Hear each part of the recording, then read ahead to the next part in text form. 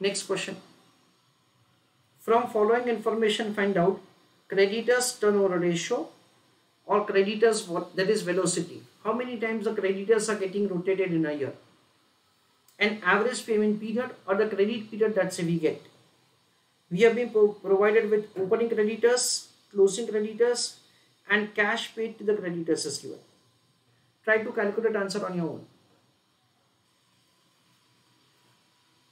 So friends over here opening creditors is given, closing is given. So based on that, so the average can be calculated 55,000. Okay, 50 plus 60 divided by 2. However, the purchase information is not given. So we'll prepare a working note to calculate the purchase. So I request all of you to write down answer. Working note number one, calculation of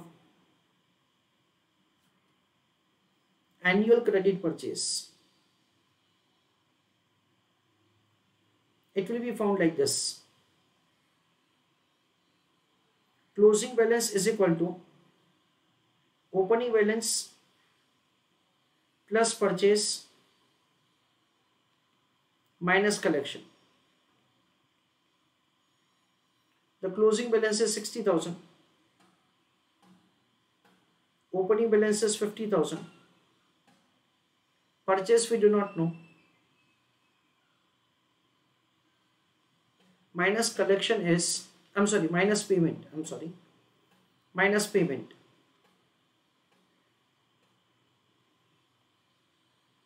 Amount of the payment is 2 lakh 65,000 so purchase will be found as balancing figure and then creditors turnover ratio So purchase is equal to 60,000 plus 2 lakh 65,000 minus 50,000.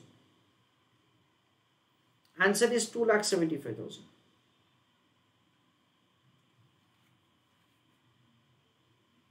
Next is creditors turnover ratio.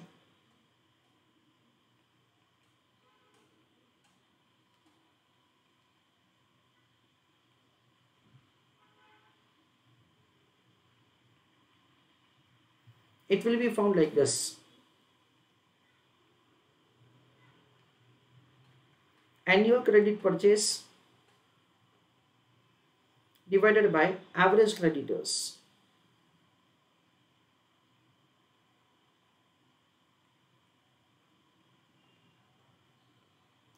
Annual credit purchases 2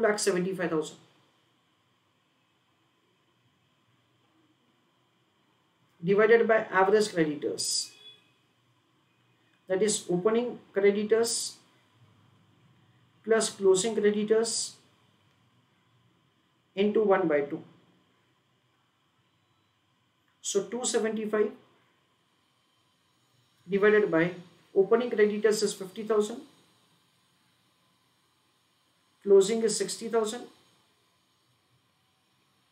into 1 by 2 So 275 upon 55.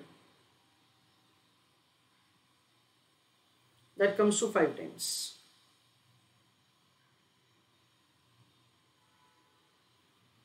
Please write an answer. Next is average payment period.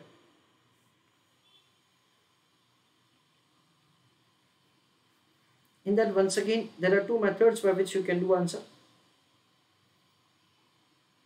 In the first method, it is 360 days divided by creditors turnover ratio.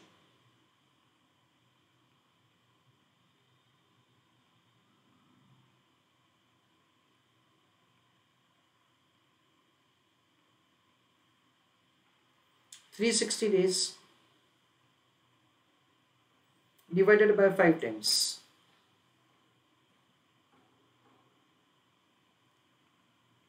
So the answer is 72 days. Or otherwise, 360 days divided by annual credit purchase into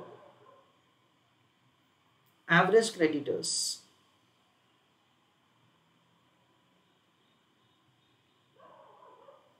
so 360 days upon annual credit purchases 275 into average creditors is 55 so the answer is 72 days. This is the way we can calculate the answer. So over here, first of all, we compute the annual credit purchase. Then we make the calculation of the creditors turnover ratio. Again, you can understand that so the purchases of the entire year and creditors is as on date. So for the balance sheet item, we will take average. And then average payment period is found 360 days divided by creditors turnover ratio or otherwise 360 days divided by purchase into average creditors.